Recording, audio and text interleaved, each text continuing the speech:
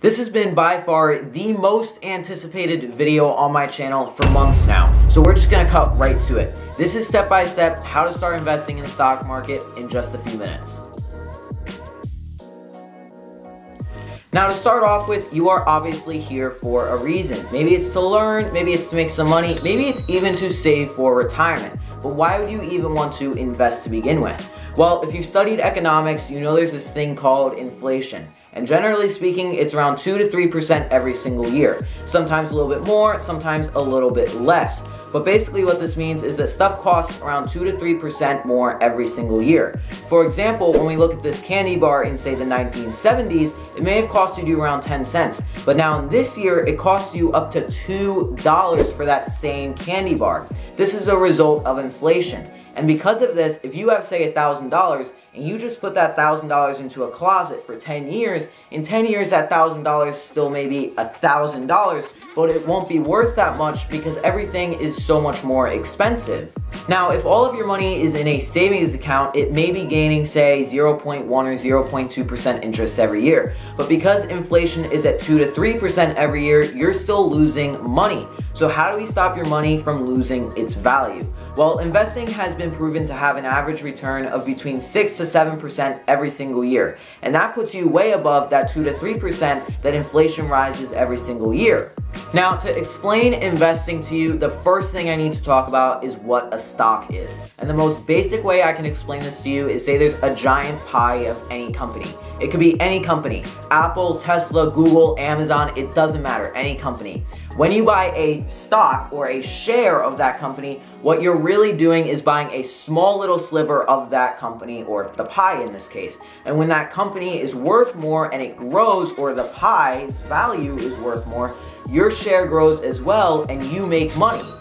Now, if investing in these stocks is so great and you can make money off of doing this, how do you buy shares of a company? Well, this is where it gets just a little bit complicated because you can't just go on Tesla.com and, you know, buy shares of Tesla right then and there. You have to go through what's called a stockbroker. Now, back in the day, a stockbroker would be a physical person who was sitting at a desk or, you know, on a computer, and you'd have to call him and be like, hey, Bob, I want to place an order to buy some shares of Microsoft. And then he would type some fancy stuff on his computer or place a paper order, and now you would own some Microsoft. Thankfully, these days though, you don't really have to talk to Bob anymore because we have loads and loads of online brokers. So now you can create an account through an online broker and then go buy stocks and shares of tons of different companies. Now, in every country, it's a little bit different because there's a bunch of different rules and regulations, but I personally recommend using Fidelity and Vanguard to start with. They're both great, but before you go and open up an account with Fidelity, we need to understand a few more things. Now, one of these things that you should know is a very, very common question that many people ask when they're first starting, which is basically, how do I decide which shares I should buy? And the easiest answer is that you don't want to buy individual stocks. And this is simply because, well, it's a little bit risky. Like, okay, if you want to go and buy Apple or Amazon stock, in five to 10 years, yeah, it'll probably be around. Yeah, you probably would have made some money. But historically speaking, we see a ton of stocks that everybody starts to invest in that you have to invest in right now. And then within a couple of weeks, you know, you've lost half of your money and over time you lose pretty much all of it. I mean, we even see it today with companies like Bed Bath & Beyond and GameStop. So if you are going to buy individual stocks, you're automatically exposing yourself to more risk as a beginner because you don't have much experience. And I know it's super easy to go and say, well, Tesla grew 500% in the last few years, and that means it should only keep going up and I'm gonna make money. And that's literally trying to predict the future. And usually the past isn't any indicator of what's going to happen in the future. So this is why many financial experts recommend investing in what's called an index fund or an ETF. And this leads me to my next point, which is what the hell is an index fund? And to understand this, there's two parts we have to talk about. To begin with, the fund part. And this is basically where everyone pools their money and there is a fund manager who then invests this money. So I could be the fund manager and my fund is called the Banana Fund. And this fund is made up of a billion dollars from millions of different investors. And then I go and say, put 20% of this into Apple, 10% into Microsoft, 10% into Tesla, 10% into Costco, 10% into Amazon, and so on and so forth. But this is so that you, as the investor, don't have to worry about any of this because you trust me, Eric, to manage your money here at the Banana Fund. And then as the fund does well, because the stocks are doing well, you get the returns of your investments, and then I take a 1 to 2% of that in a management fee. And this works out because I make a ton of money because everybody pooled their money together to invest in it, and then you don't have to worry about investing in stocks and you still get the returns of your investments. So that is the fund part, but then there's the index part, and this basically just refers to any stock market index. There is a absolute ton of them. There's the S&P 500, which refers to the 500 largest companies in the United States, the Dow Jones, the Nasdaq. Like I said, there are a ton of them. But when we look at what the S&P 500 is made up of, we see that it's made up of 7% of Apple, Microsoft makes up like 5%, Amazon makes up like 2.5%, and so on and so forth. And indexes such as the S&P 500 are generally an indicator or a sign of how the economy in that country is doing. For example, when we look at the S&P 500 on a max scale, we see that it started all the way back before even 1980, and since that time, this is what the stock market has been doing. As we can see, there is a general direction of going upwards over time, but we do see times such as during the recession of 2008 and in 2020, around when COVID first came, and even now with high inflation, the market does pull back quite a bit. So we now know what a fund and an index is, but when you combine these, you get a fund that automatically invests all of your money into a given index. And this is great because it diversifies your portfolio without you having to invest in a million different individual stocks. So we now know what stocks to invest in by diverting over to investing in ETFs and index funds instead of individual stocks. But the next question that usually follows this is, isn't investing risky? And it usually goes something like this. Well, my Uncle Bob invested in the stock market and he lost $20,000. So my dad said that we shouldn't invest in the stock market and I should invest in real estate or bonds because that's safe.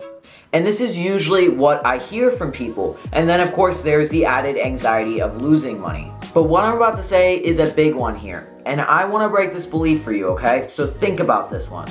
You don't lose money unless you buy something for a certain amount of money and then you sell it for less.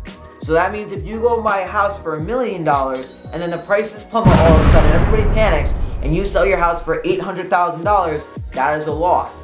But then it's say if you held for two more months and the price goes back up and it's now 1.1 million, because you waited two months, you now have wiped out all of your losses and you made some money. And this happens with stocks too. And the prime example of this would have been if I wanted to go and buy Apple in early 2020. It was trading around $80. Then only within a few months, it crashed down to $60. Now you could have sold because you were scared it was going to go lower. A lot of people do that. But if you had just held on for a few months more, it was trading over $100. And this is the case for almost every single stock on a long enough scale stocks almost always go back up long term speaking. Not to mention that if every single stock in your ETF that you're investing in just magically crashed overnight, the dollar would be worthless and you probably have bigger problems than losing some money in an ETF that you're invested in. But what I'm touching on here is the concept of risk tolerance. Some people have a really high risk tolerance, some people have a lower risk tolerance for the ups and downs and volatility of the market. But if you're not able to sleep at night with what you're invested in, you're probably invested in something too risky. But I wouldn't generally worry about risk too much. But if you're watching this video, then when should you get started with investing? Because you could be 13, you could be 18, you could be 30, it doesn't matter, you could be interested in investing, right? And I think every single financial advisor will agree with me when I say the sooner you get started with investing, the better, regardless of how old you are. There are three little caveats though before you start investing. Firstly, make sure all bad debt is paid off. This includes credit card debt as well. And this is because as much as gains compound, so do losses. Secondly, make sure you have an emergency fund in case anything happens, such as another lockdown, you lose your job, you land yourself in the hospital, anything like that. And if you don't have an emergency fund, I highly recommend before investing that you will have one ready to go, God forbid anything ever happens.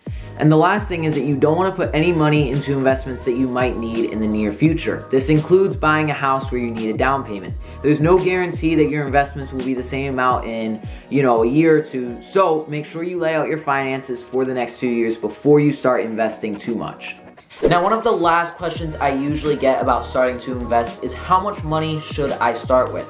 Especially because many of my viewers are new to investing. They say, well, I don't have a lot of money to invest, and that's perfectly okay. There are many websites and brokerages out there that allow you to start investing with only 5 or $10, and it's even better to start with smaller amounts and work your way up over time. So really, I can't stress this enough. There's no amount too small to start investing. Everyone is different. It's just based upon your own situation.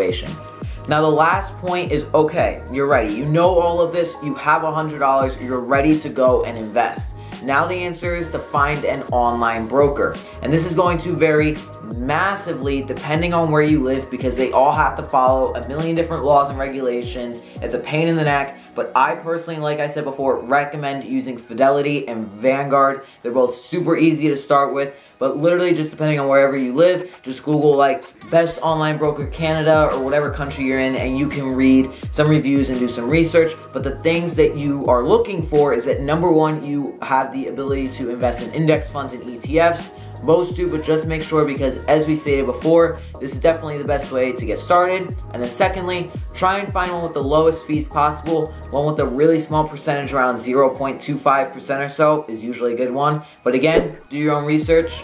Then once you open up your account and verify your identity, jump through a couple hoops and stuff, which may take a few days depending on what the regulations, where you live, all that good stuff. My advice to everyone is just to invest regularly. Do what's called dollar cost averaging. Just invest into a bunch of different stuff on like a monthly basis or a weekly basis. Just do that. Once you do that, set it and forget it. That's like what it's called. Don't look at your portfolio, don't worry about it, and then your money will magically grow over time. One last little thing I have to mention though is that if you are under 18, you're gonna go and have to open up what's called a custodial account with a parent or guardian. This won't take too long either, and it's a really great way to get started with investing. Now, obviously there's loads more to say about investing and everything, but I hope this was a good introductory video to getting started with investing. If you have any questions or anything about investing or money even, make sure to leave a comment down below. I'll be responding to you guys, alright? And on top of this, I made a video earlier this month about the first step to becoming a millionaire. So with that video right here, along with this one, you'll be setting yourself up to become financially free. So thank you all for watching, and I'll see you guys in the next one.